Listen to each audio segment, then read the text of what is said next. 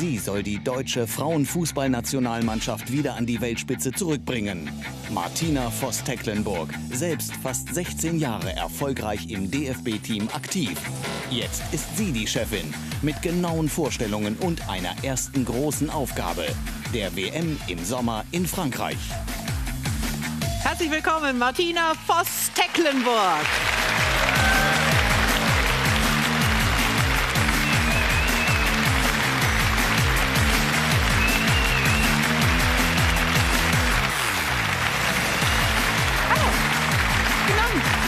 Herzlich willkommen. Die neue Bundestrainerin. Schön, dass Sie hier sind, Frau Voss-Tecklenburg. Das ist Ihr Applaus. Am nächsten Donnerstag haben Sie Ihr erstes Spiel als Trainerin der deutschen Frauenfußballnationalmannschaft in Laval gegen Frankreich. Äh, wie erleben Sie so diese Tage jetzt davor? Ja, die sind sehr intensiv, ähm, mit viel Freude natürlich auch, dass jetzt endlich losgeht. Wir hatten Trainingslager und jetzt kommt das erste offizielle Länderspiel, auch für mich eine besondere Situation in meinem Heimatland als Bundestrainerin das erste Spiel machen zu dürfen. Ja, aufregende Zeiten. Wir haben heute das große Glück, dass wir zwei Gäste in einem haben. Zum einen die Bundestrainerin, zum anderen sind Sie im Aufsichtsrat von Fortuna Düsseldorf. Düsseldorf hat am Abend gespielt gegen den ersten FC Nürnberg. Haben Sie in dieser intensiven Phase, die Sie gerade eben beschrieben haben, überhaupt Zeit, die Bundesliga zu verfolgen?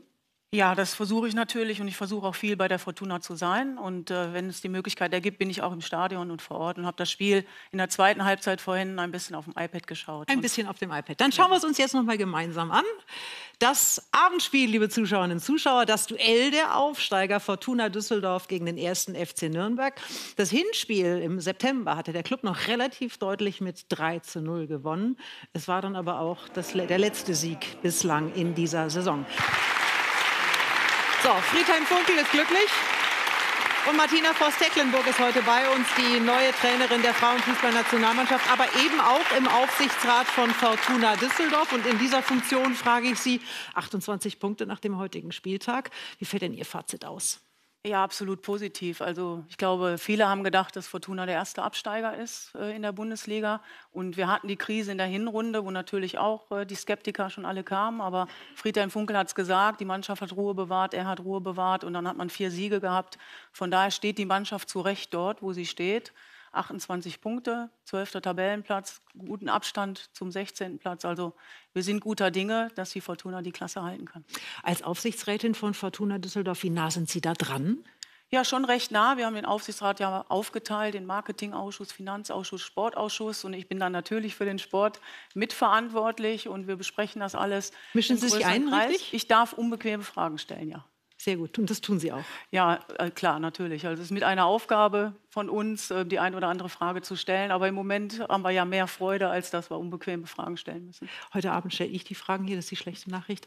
Thema ist aber auch ein anderes. Und da kennen Sie sich wahrscheinlich noch besser aus. Das ist die Frauenfußballnationalmannschaft als neue Trainerin. Da freue ich mich drauf. Das machen wir gleich. Martina Voss-Tecklenburg ist heute bei uns, die neue Trainerin der Frauenfußballnationalmannschaft. Langjährige Nationalspielerin, über 15 Jahre Vize-Weltmeisterin, viermal Europameisterin.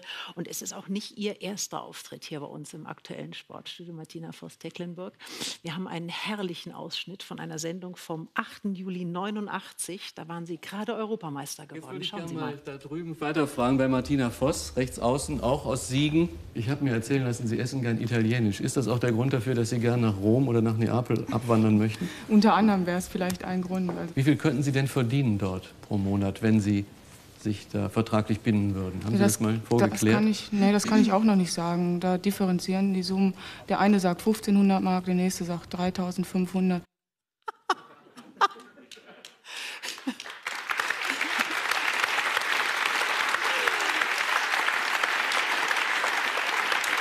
Ist gern italienisch und möchte gerne mal nach Rom. Es hat ja super geklappt. Ja, leider gar nicht. Aber wenn Sie das so sehen, von damals die Bilder, Sie wollten erst gar nicht hinschauen. Ja, es äh, hat alles seine Zeit, ne? Ja. die Frisuren. Und ich war noch sehr jung und hatte noch 21. große Träume. Ja, 21. 21, ja. Jetzt sind Sie seit knapp drei Monaten im Amt. Fußball-Bundestrainerin. Und bevor wir ausführlich sprechen, stellt uns Alexander Kramer Martina Voss-Tecklenburg vor. Ihre neue Mission startet am 30. November 2018 in Frankfurt am Main. Für Martina Voss-Tecklenburg war es schon lange das große Ziel, Bundestrainer sein in ihrem Heimatland. Fast 16 Jahre hat sie selbst den Adler auf der Brust getragen und hier die Sieben auf dem Rücken. 125 Länderspiele, 27 Tore. Sie prägte bis zum Jahr 2000 mehr als eine Generation mit vier EM-Titeln. In der Bundesliga ist sie für ihre Geburtsstadt Duisburg und Siegen aktiv, gewinnt sechsmal die deutsche Meisterschaft und viermal den DFB-Pokal. Auch als Trainerin sammelt sie Titel, darf sich über den UEFA Cup und zwei Pokalsiege mit Duisburg freuen. Sie kann aber nicht nur gewinnen, sie kann auch entwickeln. Führt die Schweiz als Nationaltrainerin das erste Mal zu einer EM und zur WM 2015. Mehrere Jahre leistet sie erfolgreich Pionierarbeit im Nachbarland. Jetzt wird noch Größeres von ihr erwartet, die deutschen Frauen wieder in die Weltspitze führen. Am 26. April 2018 hat der DFB bekannt gegeben, Frau Voss-Tecklenburg, dass Sie Nachfolgerin werden von Horst Rubesch. Sie waren zu dem Zeitpunkt noch Nationaltrainerin in der Schweiz. Wir müssen uns diesen Prozess vorstellen. Klingelt da das Telefon und dann meldet sich ein Reinhard Grindel? Ja, Reinhard Grindel war es nicht, aber es war tatsächlich so, dass das Telefon geklingelt hat und der äh, Direktor Nationalmannschaften, Juti Schatz-Alexio, bei mir angerufen hat. Es war dann ein Prozess, weil ich ja noch in der Schweiz Vertrag hatte, eigentlich bis äh, zur WM-Kampagne 2019. Und dann haben wir einige Gespräche geführt, auch noch mit Horst Rubesch zusammen. Haben wir haben uns über die Philosophie unterhalten, die ich habe als Trainerin, aber auch die der DFB hat, mit seinen Leitlinien, mit der Idee, wie wir den deutschen Männer- und Frauenfußball wieder zurück an die Weltspitze führen wollen. Ja, und äh, nach zwei, drei Wochen, auch Gesprächen natürlich zu Hause mit meinem Mann in der Beratung, habe ich mich dann dazu entschlossen, zuzusagen und den nächsten Schritt in meiner Karriere zu gehen. Es war aber immer klar, dass Sie die WM-Qualifikation mit der Schweiz erst noch zu Ende spielen würden. Ähm, 2015 haben Sie die Schweiz, Sie haben es gerade eben gehört, erstmals zu einer WM geführt. Diesmal hat es nicht geklappt mit der WM-Qualifikation. Was nehmen Sie davon auf Ihre Kappe? Ja, man nimmt als Trainerin immer etwas auf seine Kappe. Also wir haben es tatsächlich in, der, in den letzten beiden Qualifikationsspielen dann so ein bisschen selber versaubeutelt. Wir brauchten eigentlich nur noch einen Punkt. Sie waren fast durch? Wir waren fast durch. Wir haben dann in Polen ähm, nur unentschieden gespielt und da hätten wir gewinnen müssen, hatten riesen Torchancen. Und dann bist du in die Playoffs gegangen mit dem Europameister, mit Niederlande und da sind wir dann halt noch nicht so weit gewesen, um dann diese gute Mannschaft in zwei Spielen schlagen zu können. Aber am Ende sind es immer Erfahrungen, die ich mitnehme. Also aus jedem Spiel, aus jedem Turnier, ähm, weil das ja auch für mich neue Erfahrungen waren, ein Turnier mit einer Mannschaft zu spielen. Das ist was ganz anderes, ob du das als Trainerin machst oder eben als Spielerin. Und von daher nehme ich ganz viel Erfahrung und Werte in den sieben Jahren aus der Schweiz mit. Mhm.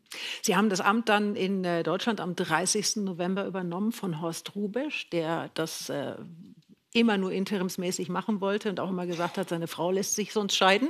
Ähm, was haben Sie sich von ihm abgeguckt? Wenn Sie sagen, Sie hatten Kontakt, haben Sie was übernommen von ihm? Hat Ihnen Rat gegeben? Also wir haben tatsächlich natürlich auch die Gespräche geführt. Horst hat mir gesagt, was er in den acht Spielen, die er mit der deutschen Mannschaft gemacht hat, an ähm, Ideen noch mal reingebracht hat. Es ging natürlich darum, nach den nicht so erfolgreichen Spielen zuletzt der Mannschaft wieder Selbstbewusstsein zu geben, eine gewisse Struktur und eine gewisse Sicherheit zu geben. Das hat Horst in überragender Weise getan. Und wir haben uns in den Gesprächen ähm, auch darüber unterhalten, wo es hingehen kann und wie wir die Idee vom Fußball sehen. Und die ist sehr ähnlich. Und deshalb war es für mich jetzt auch relativ einfach, das, was Horst Rubesch mit seinem Trainerteam jetzt vorbereitet hat, eben als Basis zu nutzen, um meine Ideen und meine Vorstellungen, die von unserem Trainerteam jetzt weiterzuentwickeln. Und Sie treten Ihr Amt mit äh, ziemlich vielen Vorschusslorbeeren an. Oliver Bierhoff sagt, eine starke Persönlichkeit. Für all diejenigen, die Sie jetzt vielleicht in den letzten Jahren, sechs waren es in der Schweiz, nicht so hautnah beobachtet haben, wie sind Sie? Ja, ich bin, äh, glaube ich, sehr leidenschaftlich, sehr authentisch. Ich habe das alles erlebt, was die Spielerinnen natürlich auch erleben. Also wir haben ja nicht nur Profis, auch noch nicht im Nationalteam. Wir haben junge Spielerinnen, die ihre duale Karriere planen. Wir haben Spielerinnen, die studieren oder zum Teil noch einer Arbeit nachgehen.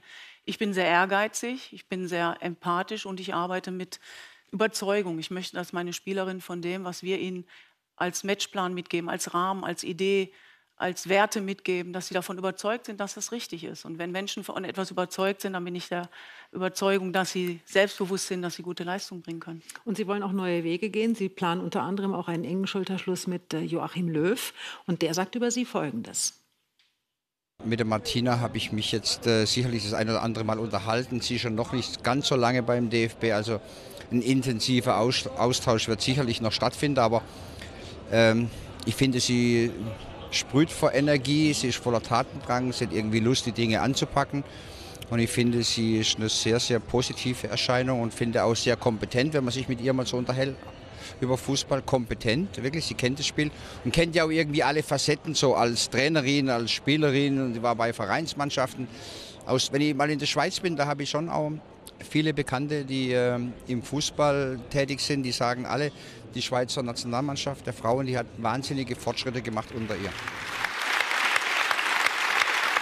Da hört man doch schon eine hohe Wertschätzung raus bei äh, Joachim Löw. Sie treffen sich jetzt morgen bei einem Amateurfußballkongress. Ist da ein Gespräch geplant oder ergibt sich dann sowieso ein, ein, ein Treffen zwangsläufig irgendwann? Ist da irgendwas in diese Richtung schon festgezurrt worden?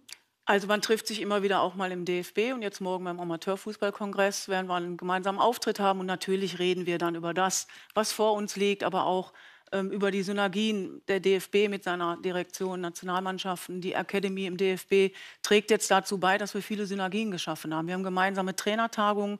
Wir können von den Entwicklungen, die im Männerfußball laufen, immer auch profitieren. Und wir arbeiten dort jetzt sehr eng zusammen und haben diesen Schulterschluss und da profitieren wir alle von. Und das gab es vorher in der Form eben nicht. Genau. Ähm, Im Sommer dann die WM in Frankreich. Sie haben das erste Trainingslager mit Ihrer Mannschaft gerade hinter sich und am nächsten Donnerstag dann das erste Spiel gegen Frankreich. Darüber reden wir gleich noch. Machen aber jetzt erstmal kurz weiter mit der Fußball-Bundesliga. Martina Voss-Tecklenburg, vielen Dank für den Moment. Die neue Bundestrainerin ist heute bei uns. Martina Voss-Tecklenburg, seit äh, knapp drei Monaten im Amt, aber so richtig kennengelernt haben Sie Ihre Mannschaft jetzt erst im Januar. Da gab es ein Trainingslager in Marbella, ging es um Kennenlernen eben und auch um Ideen zu präsentieren. Und äh, sehr ungewöhnlich, Sie haben unser Team dabei sehr nah rangelassen. Claudia Neumann. Bilder mit Symbolkraft, immer auf Tuchfühlung, alles im Blick. Martina Voss-Tecklenburg, Chefin mit Expertise, Empathie und natürlicher Autorität. Der Auftrag unmissverständlich. Neue Struktur, klare Spielidee, frisches Selbstvertrauen auf dem Weg zurück zum Erfolg. Voss Tecklenburg bietet keine One-Woman-Show. Kommunikation ist bei ihr keine Einbahnstraße. Vertrauen und Verantwortung verteilt auf alle Spezialisten im Funktionsteam. Das tägliche Meeting als wichtiger Informationsaustausch. In diesem Fall gibt der Arzt den Hinweis.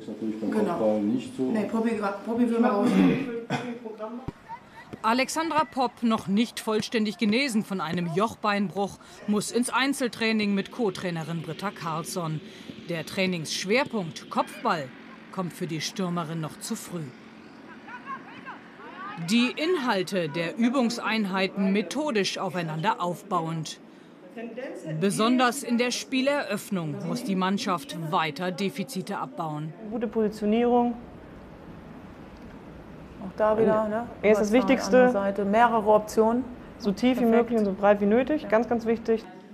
Die am Vorabend ausgearbeiteten Aufgaben gehen dann am Morgen in eine Art interaktive Verständnisprobe. Wir gehen in zwei Passformen. Die sind taktisch und technisch orientiert. Jetzt haben wir die Woche schon vieles gesagt, möchte ich von euch noch mal hören. Unabhängig, ob ihr jetzt schon wisst, wie diese Passform abläuft, was wird wichtig sein? Passschärfe. Passqualität. Ja. Richtigen Fuß zum Beispiel anzuspielen. Genau, richtigen Fuß. Eine erste personelle Änderung. Alexandra Popp wird Jennifer Marojan von der offensichtlichen Last der Kapitänsbinde befreien. Die im vergangenen Jahr an einer Lungenembolie schwer erkrankte Marojan soll in Ruhe zurückfinden, zu ihrem brillanten Spiel sich zunächst ganz auf sich selbst konzentrieren. Kopf und Körper individuell in Einklang bringen. Einzelgespräche geben der Trainerin wichtige Aufschlüsse. Von dir hören die ersten Eindrücke, so stimmungsmäßig. Was hast du für ein Gefühl? Wie ist immer aufgestellt? Wo geht's hin? Mhm, ich habe ein recht positives Gefühl. Also gerade so die ersten Trainingseinheiten hat man gesehen, dass Feuer drin ist, dass die Spielerinnen gleich von Anfang an wussten, was gefordert ist. Auch die Ansprache war sehr klar und das ist ein sehr, sehr guter Einstieg. Also ich habe es auch schon anders erlebt. Aus Last soll wieder Lust werden. Ein Team kämpft sich zurück in die Weltelite. Zurück an die Weltspitze. Martina Voss-Tecklenburg, Sie haben gesagt, ich möchte Titel gewinnen. Ich war noch nie Weltmeisterin. Das Ziel ist natürlich die Olympiaqualifikation. Dann werden wir sehen, wo wir mit dieser Mannschaft hingehen können. In Tokio werden insgesamt zwölf Mannschaften am Turnier teilnehmen. Automatisch qualifiziert sind die drei besten europäischen Mannschaften bei der WM, egal wann sie möglicherweise aus diesem Turnier ausscheiden. Braucht man nicht vielleicht doch noch ein konkreteres Ziel dann für so ein großes Turnier?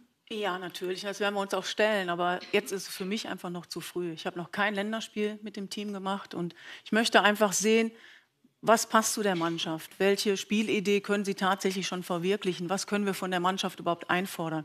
Wir haben ein bisschen Umbruch jetzt. Wir haben viele junge Spielerinnen dazugeholt, die vieles versprechen für die Zukunft. Aber dann eine WM zu spielen, ist tatsächlich auch nochmal eine andere Herausforderung. Das heißt, diese Spielidee, die haben Sie noch nicht? Oder Sie haben mehrere und werden schauen, was von dieser Mannschaft realisierbar ist. Genau, wir haben äh, eine klare Grundidee, wie wir spielen wollen. Bei welchen Fußball wollen Sie spielen? Wir wollen offensiven äh, Fußball spielen, wir wollen agieren in jeder Aktion, also auch wenn wir den Ball nicht haben. Und was wir erreichen möchten, ist, dass wir mutige Entscheidungen treffen, dass wir wirklich mit offensiven Außen spielen, dass wir Spielerinnen sehen, die den Mut haben, an eins gegen eins zu gehen, die sich nicht verstecken, dass sie den Ball fordern. Und ich glaube, wenn wir das schaffen, dann werden wir auch gut Fußball spielen. Und wir wollen das Spiel mehrheitlich bestimmen in allen Spielphasen. Wir haben gerade eben die jungen Spielerinnen in dem äh, Film schon gesehen. Viele frische, viele junge Gesichter.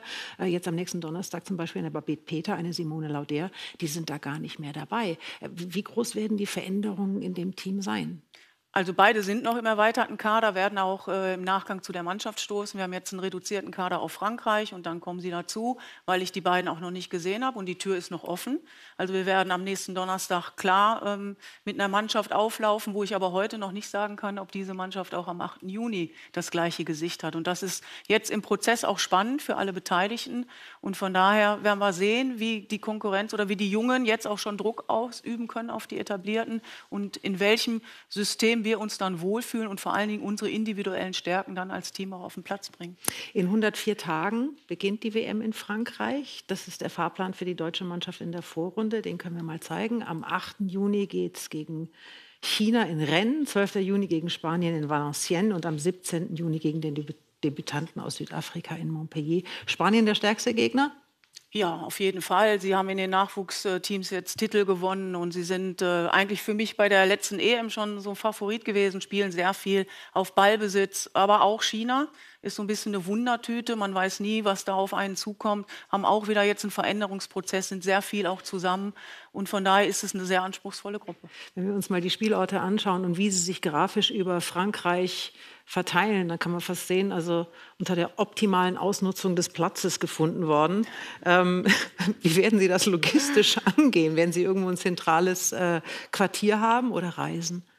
Also es ist ein bisschen Tour de France, das ist tatsächlich so. Wir äh, werden reisen und wir werden an jedem Spielort dann eben auch äh, im Hotel sein. Wir werden das logistisch, wie der DFB das immer macht, ähm, gut vorausplanen. Es ist spannend, weil wir in drei verschiedenen Spielorten sind. Es ist aber auch schön, weil ich glaube, wir lernen auch ein bisschen was vom Land kennen und alle freuen sich auf diese WM und ich bin mir sicher, dass das Frankreich als Gastgeber herausragend tätigen wird. Packen Sie Ihre Fahrräder ein. Also die deutsche Mannschaft bei den letzten drei großen Turnieren so eine Art Wundertüte, aber auch also WM Kanada Vierter, Olympiasieg Rio, bei der EM 2017 in den Niederlanden das Aus im Viertelfinale. Man hatte viele, viele Jahre das Gefühl, große Titel gehen entweder nach Deutschland oder in die USA. Was ist in den letzten zehn Jahren im Frauenfußball passiert? Ja, Gott sei Dank eine ganze Menge. Darauf haben wir alle hingearbeitet. Wir haben immer gesagt, der internationale Frauenfußball muss enger zusammenrücken. Es ist nicht mehr selbstverständlich, dass du heute Titel gewinnst, weder für die USA noch für Deutschland, aber auch nicht für andere Nationen. Ich bin davon überzeugt, dass bei dieser WM acht Mannschaften, vielleicht auch zehn, tatsächlich das Potenzial haben, Weltmeister zu werden. Und das macht es so spannend. Und wir haben kein Alleinstellungsmerkmal mehr. Deshalb müssen wir uns weiterentwickeln. Wir müssen aufpassen, dass uns die anderen Nationen nicht überholen. Und da arbeiten wir jetzt dran, sukzessive. Und wir haben ja einen Plan über mal mindestens drei Jahre. Aber Fakt ist auch, wir wollen uns für die Olympischen Spiele qualifizieren. Das bedeutet eben auch Zuschüsse für den Nachwuchs, für die Talentförderung. Und von daher schauen wir dann, was diese WM uns bringen wird. Dann wünsche ich ihm auf den Weg dahin ein glückliches Händchen. Vielen schönen Dank, dass Sie heute hier sind. Martina Voss-Tecklenburg. Wir sehen uns aber gleich noch an der Torwand.